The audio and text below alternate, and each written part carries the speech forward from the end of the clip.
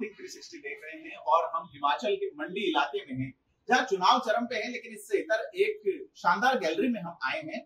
आप देख सकते हैं, मेरे साथी से कहूँगा कि पुरानी चीज़ें जो हम छोड़ चुके हैं, यानी कि वो चरखा जिसका गांधी जी के माध्यम से आज़ादी के अंदर बड़ा योगदान रहा, या स्वदेशी वस्तुओं का जो भी सिस्टम रहा है, पुराने कैमरे, पुराने टेलीफोन, आप पुराने टेलीविज़न, कई चीज़ें देख सकते हैं इस गैलरी में, बहुत शानदार गैलरी है ये। और इस गैलरी के बारे में हम जानेंगे। आरती जी हैं। आरती जी आप ये गैलरी चलाते हैं? जी। जी। किसका है ये शर्मा जी का है। नाइन्टी सेवन से बनी हुई है। तो यहाँ पे जैसे मतलब एक छत के नीचे पूरा हिमाचल को दिखाना चाहते हैं। जी। जी तो फोटोग्राफ्स है। और हिमाचल के टूरिस्ट प्लेस जैसे हमारा मंदिर झरने हमारा यहाँ का कल्चर वो सब चीज़ें यहाँ पे एक छत के नीचे दिखाई जाती है।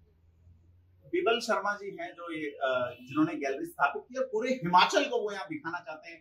फ़ोटोज़ देख सकते हैं आप और बहुत सारी चीज़ें पुराने कैसेट्स रिकॉर्ड और वो चीज़ें अगर कोई हिमाचल को एक छत के नीचे देखना चाहे तो मंडी से निकलते ही यह जगह है। आरती जी और कुछ बताना चाहेंगे इसके बारे में? क्या आप पेड दिखाते हैं या ऐसा कुछ रहता है? नो सर ये फ्री ऑफ़ कॉस्ट दिखाई देता है। दिखाया जाता है। यहाँ पे कोई चार्ज नहीं है इसके। जी। तो आप यहाँ जॉब करते हाँ? मैं यहाँ पे ये सारा सामान कहाँ से लाया हुआ है? सर कुछ कलेक्शन से और कुछ अपने उनके अपने घर से है जो। बाकी ऊपर जो फोटोग्राफ्स है वो उनके खुद के खींचे हुए हैं। तो बिबल शर्मा जी कहाँ रहते हैं? थोड़ा बताएँगे उनके बारे में। सर वो मंडी में होते हैं। क्या एज है उनकी सर फिफ्टी से अब अभी ऊपर है। तो मेरे प्रदेश को कोई पहचाने और प्रभावी तरीके से पहचाने इसके लिए एक बहुत बहुत अच्छा एक सेटअप इन्होंने लगाया है जिसमें फ़ोटोज़ हैं। एक बार साथ ही कहूँगा फिर से दिखाए।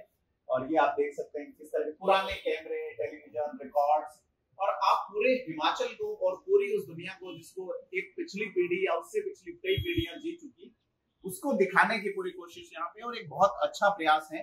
हिमाचल से मैं हूँ हिमाचल के मंडी इलाके में फ़िलहाल हम राजस्थान से यहाँ इलेक्शन कवर करने आए, लेकिन ये एक डिफरेंट थिंग दिखी तो इस पे बात करना बनता है। प्रदीप विदाउट मंडी।